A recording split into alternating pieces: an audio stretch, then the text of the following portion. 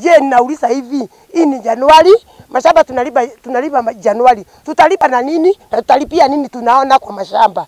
Mkifungia hiyo vitu yanyu, mkae na vitu yenu huko kwa kichaka, mwache kwa kwa hivyo hiyo vitu inatoka kwa kichaka sana kukuja kwa mashamba, juu iko mang'ombe sinakula huko. Mfungie vitu yanyu, mwache sisi tulime.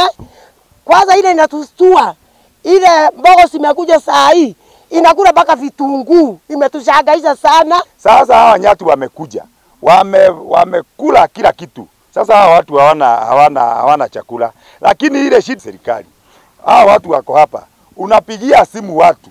Wanakuja, wanaandikisha, alafu wanakaa.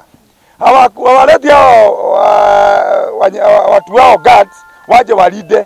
Kwa hivyo sisi tunawauliza pia wale watu ambao wako hapa wamekuwa watu ambao nao wame, wa, wa, wana, wa, wamekuwa wazebe. Lakini hao wanyama wameenda to an extent ya kupiga hata watoto wetu.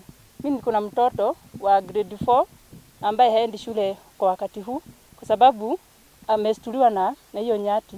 Kwa sababu alikuwa na anatoka kwenda kwa shamba akakutana nao akastuka akakimbia akaanguka akavunjika mkono.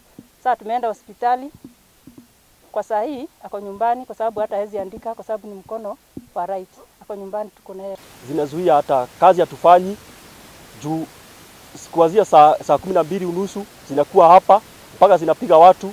Mimi zinijiagusa hapa nikienda nyumbani kama saa, saa moja unusu hivi mpaka hata ni bahati nzuri mimi nilipotea ikaacho ikipiga pikipiki